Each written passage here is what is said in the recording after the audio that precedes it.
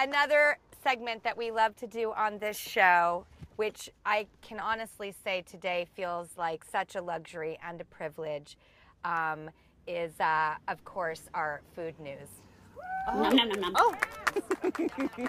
um, there is an LA institution at this desk today. Wow. This hot dog dynasty has been serving Hollywood hot dogs since 1939, mm.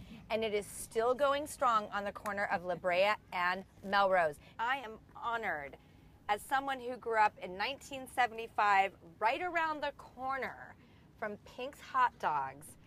From Pink is Gloria and Beverly Pink. I'll take it. I'll take it. Oh my God. Here you go. Oh my God! We have. Whoa! Those are some really big wieners. This is our newest, most favorite hot dog. It's the Drew's News Dog, and it's officially on the menu. We're going to have a Drew News hot dog on our menu at Pink's.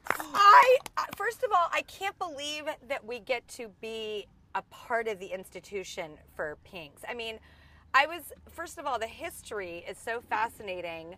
Your family migrated from Russia, Right, Romania and Romania, Russia. and Russia. Right. Opened up the hot dog stand as a cart. Yes. It was a push cart, and they were lucky in those days to serve 50 a day. Today we serve about 2,000 dogs a day. Wow. I was just going to ask 82 years in business, how do you do it? You do it by selling 2,000 hot dogs a day. That's right. right. That's right. Yes. And we are humbled and honored that people will wait in line for those dogs. Mm-hmm. Right, After, because yeah. it is an iconic institution, and Michelle Obama has come there. Yes, that was a funny story because we were actually Beverly and I were there because Japanese TV was showing up to talk about pinks, and somebody came up to me and showed me his credentials.